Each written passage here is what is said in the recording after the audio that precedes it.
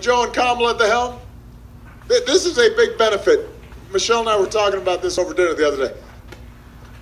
You're not going to have to think about them every day.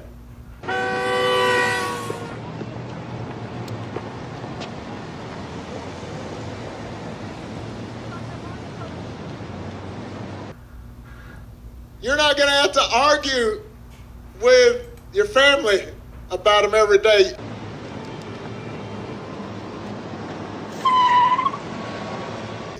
It won't be so exhausting.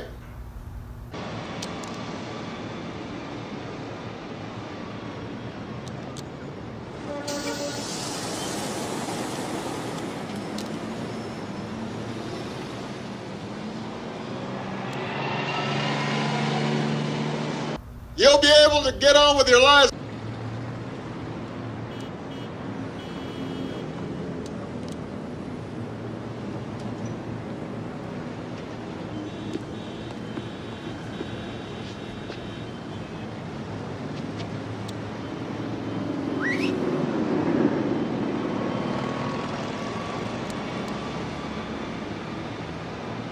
You won't wake up in the morning and kind of open your phone. Oh, newsflash.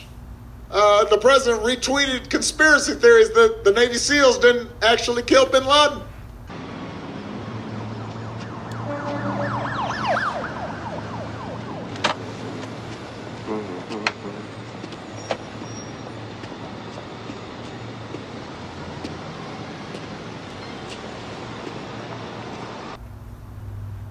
You're not going to have a president who goes out of his way to insult people.